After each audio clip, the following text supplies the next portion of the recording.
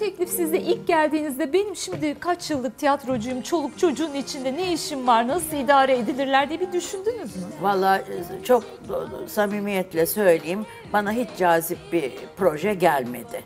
İnci Türkay'la e, İnci e, Gündoğdu gelip bana söylediğinde aman dedim yani şimdi ne çocuk projesi ben orada cadı oynayacağım falan ki orijinalini de seyretmiştim.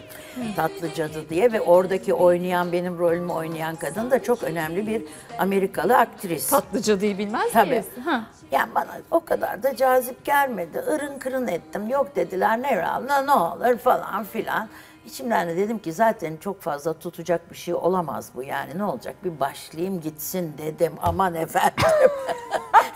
Demek ki harika bir öngörüm varmış.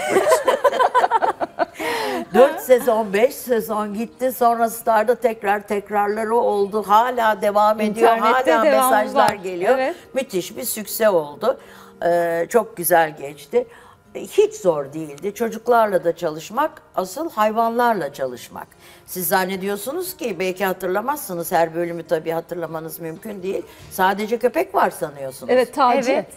Ayol yılanlar, kertenkeleler, Her bölümde böyle atlar. bir aksiyon evet. Ay tabii en sonunda bir tanesinde gene böyle bir kertenkele mi ne bir şey getirdiler ve benim burama alıp dans etmem lazım.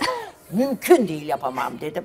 Gül Onat ben yaparım hayvanı çok severim dedi. O yaptı benim yerime o sahneyi. Ciddi misin? Tabii canım at mı gelmedi, eşek mi gelmedi, bir deve gelmedi yani. Devamlı Gamze Özer yazıyordu bu hafta şu gelecek hayvan diye. Biz o hayvanla nasıl oynayacağız, ne yapacağız? Yani çok keyifli anlarda geçti, çok zor anlar da geçti Senaryoyu tabii. korkarak elinize alıyordunuz Tabii bugün acaba? hangi hayvan var diye. en unutulmaz sahne sizin için neydi? Bütün sahneler tabii. Metin'i e, es geçiyorum yani Metin'in olduğu sahneler. Tabii ki unutulmaz sahnelerdi ama e, sevgili Ersoy bizim yönetmenimizdi. İlk başladığı zaman da tabii Taci'yi köpeği idare etmek çok zordu.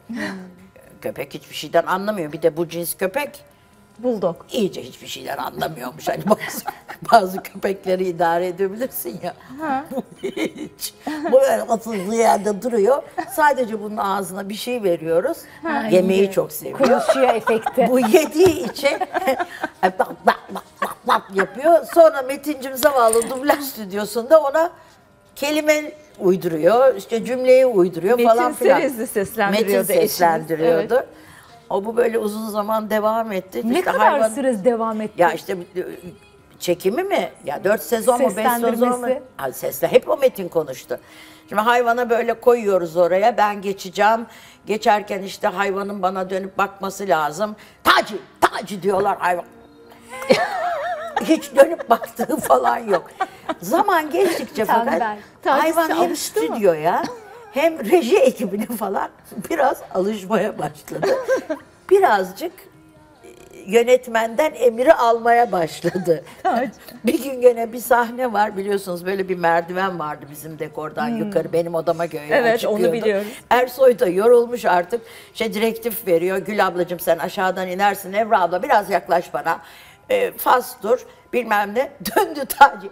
Sen böyle yukarı doğru çıkacaksın bir ara döneceksin sesi duyunca dönüp arkana bakacaksın sonra ağlayıp çıkacaksın. Taci ya. Ona adı böyle bakmış Dağılmış. köpekçik. Ona da artık sen köpeğe diyorsun yukarı çıkacaksın. Bir dakika çıksa iyi. Çıkacakmış. Sonra bir de iyi.